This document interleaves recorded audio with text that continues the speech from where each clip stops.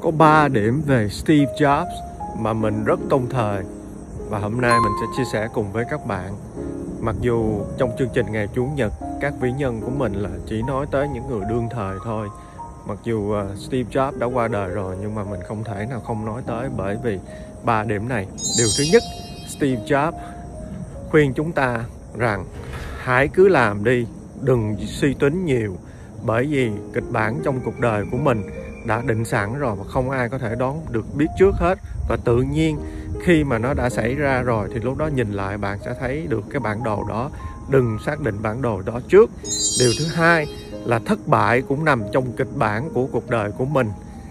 Hãy đừng lo nghĩ và cảm thấy buồn phiền vì hết, bởi vì kịch bản trong cuộc đời mình đã định sẵn và trong đó nó có những cái mảng thất bại sẵn rồi.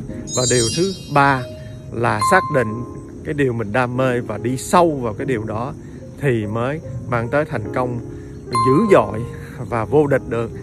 Còn hai điều nữa mình xin chia sẻ trong video uh, YouTube. Mời các bạn cùng theo dõi. Chúc mọi người nhiều thành công và vui vẻ vào ngày chủ nhật.